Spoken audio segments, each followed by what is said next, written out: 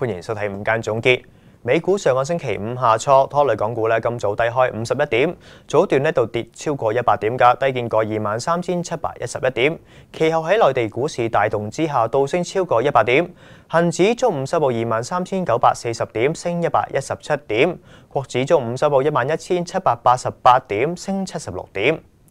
中央電視台三一五晚會曝光多間上市公司存在問題，其中咧中移動同埋騰訊都係榜上有名㗎。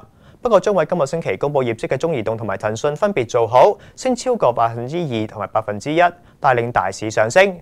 至於法國或者會對匯豐涉嫌協助富豪逃稅而提出刑事調查，拖累匯豐咧再跌超過百分之零點五，失守六十五蚊嘅水平，破底低見過六十四個三毫半。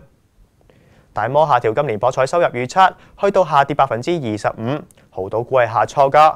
其中永利、美高梅、澳博齊齊破底，分別跌超過百分之一至百分之二。另外銀娛同埋金沙分別跌百分之零點五至百分之一。國際油價持續向下，紐約四月期油咧今早一度創新低，航空股係向好㗎。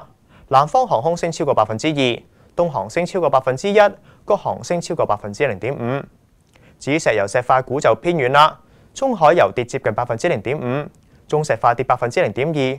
中石油咧就半日冇升跌。焦點股方面啦，九倉去年嘅核心盈利跌百分之七點三，差過市場預期，股價之後咧跌超過百分之二。山水水泥發盈景，預計去年純利跌超過六成，股價跌超過百分之五。香港寬頻和巴克萊首爾增持評級，股價係做好價，升超過百分之三，破頂高見過九個八毫八。